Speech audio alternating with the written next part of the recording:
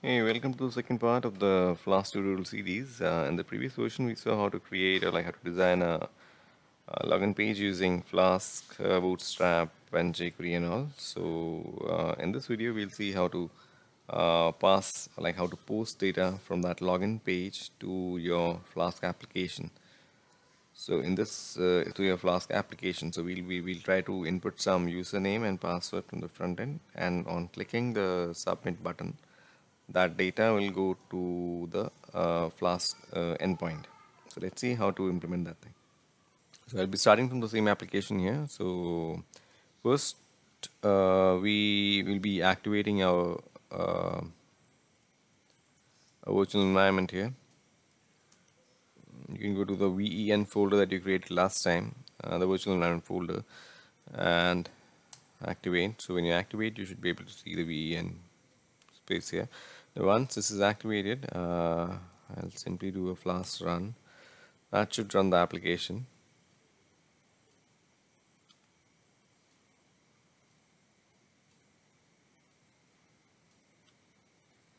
Once you have the flask application running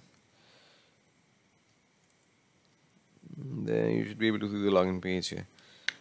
Let's start by adding one more route here uh, after route this is for handling the sign handling the sign in process here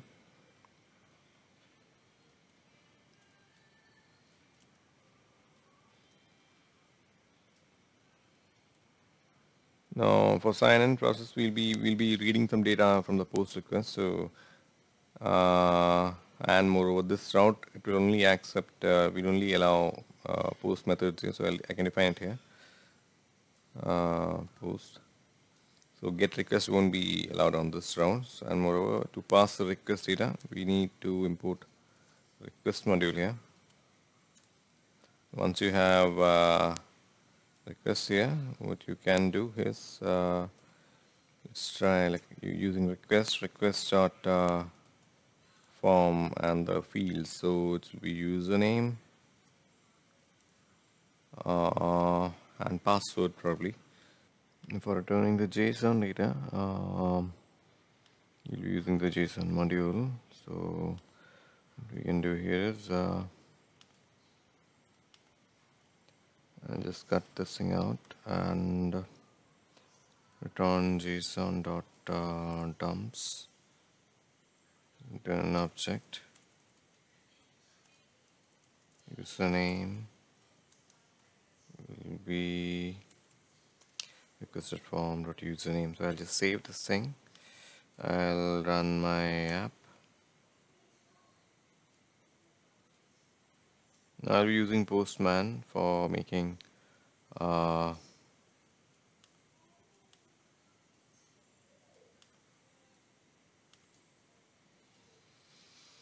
now to test uh, this particular route like uh, to test this post endpoint I'll be using something called Postman. You can download Postman extension from like Postman from uh, from Google.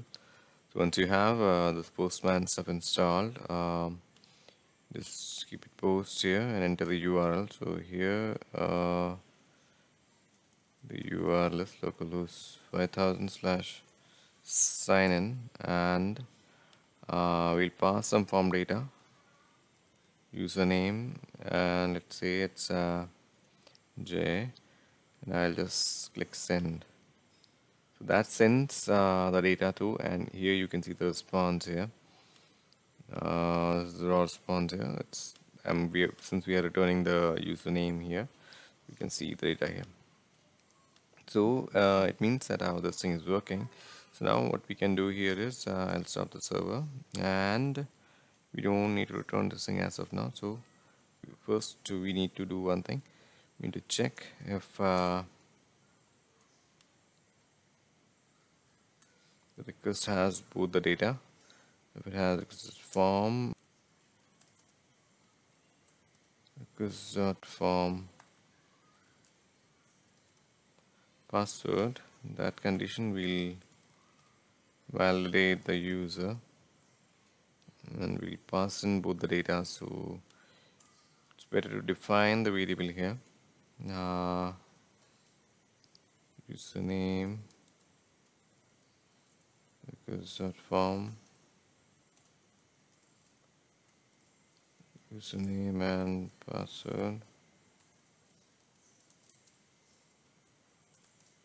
request dot form password you can validate these things here if username and password we can pass the data to the validate user method.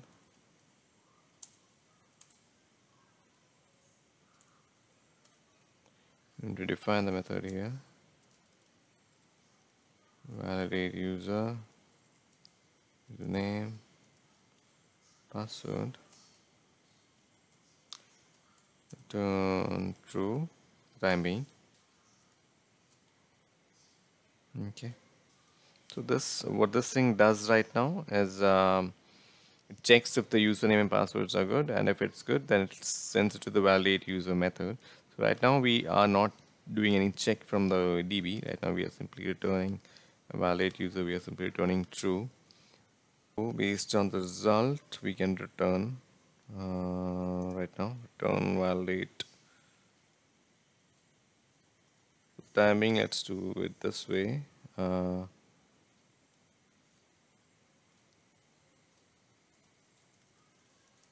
validation.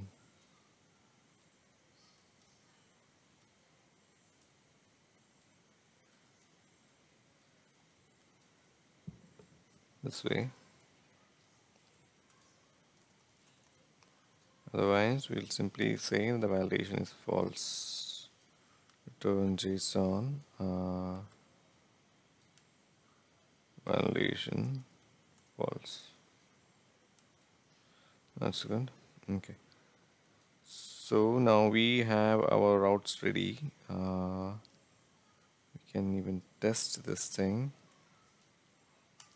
Last run I'll go to here. I'll pass the data so as you can see okay it's a bad request. Okay it's expecting something called a password.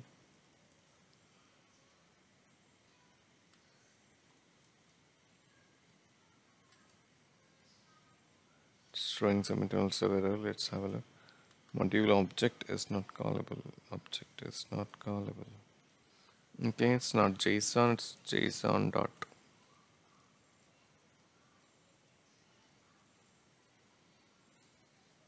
okay it's not json it's json dot dumps that's why it's failing i believe. So let's restart and try again.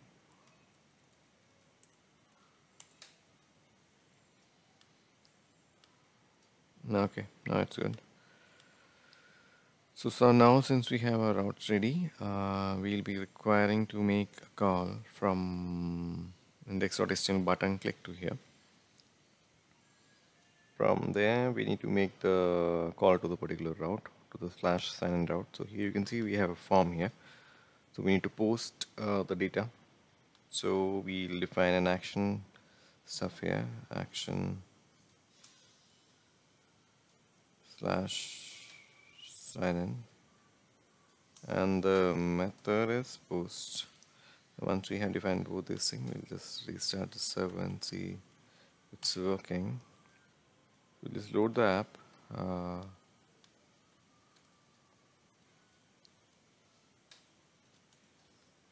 we should see the login page here. Now I'll just enter some entries. Uh, pass sign in says bad request. Okay it's probably because we haven't really passed uh, the data. So here for this input you need to set a name param here. That's what goes to the backend as uh, post parameters. Uh, password. Now let's restart this thing.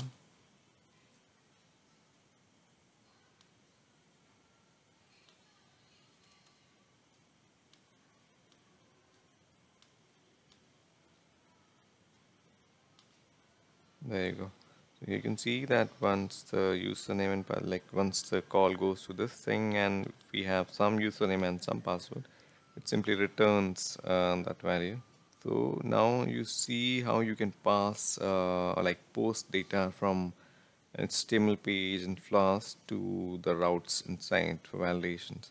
So that's all for this video. In the next video, we'll see how to like connect, uh, like, like how to validate the username and password with data in our MySQL database. Thanks for watching.